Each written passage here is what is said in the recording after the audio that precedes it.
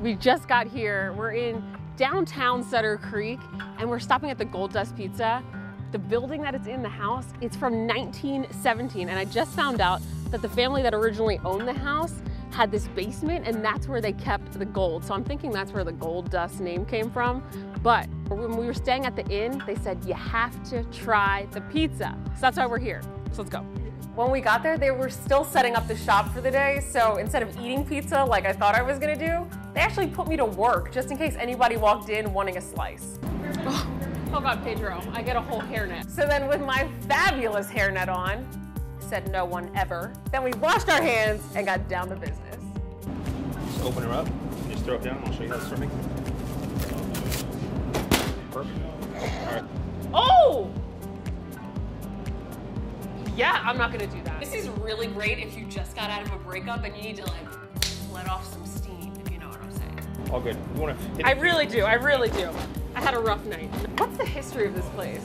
So, the store itself used to be a house.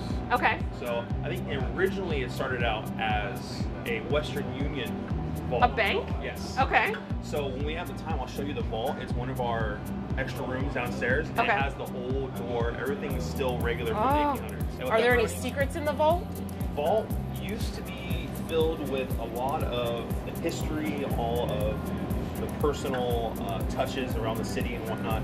At this point, I was just hoping to channel some of that luck that I had earlier in the day when Trish and I struck gold with Jack back at that gold panning place.